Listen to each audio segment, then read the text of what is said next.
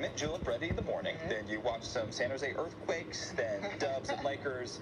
Sort of the perfect sports day tomorrow. and find out who wins that Kentucky Derby. I just watched for the fashion though. Love that. yes, I love it. The 11 o'clock news on KTVU Fox 2 starts now.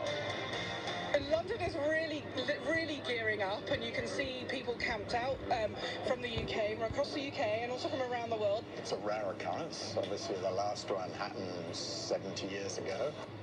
Excitement is building as a new era begins in just a matter of hours. King Charles III will soon take the British throne.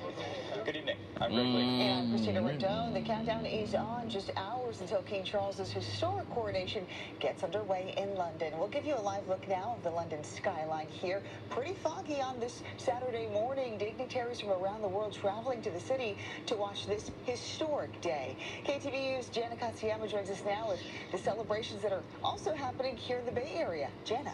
Yes, plenty of celebrations here. The British Deputy Consul General says um, she was just there last week. Incredible to see the excitement in London. The official ceremony starts at 11 a.m. in London. That's early, 3 a.m. here. So you have to be a night owl if you're going to watch it live. There will be a repeat. But all of the events this weekend here in the Bay Area are meant to help celebrate this historic event. The trip to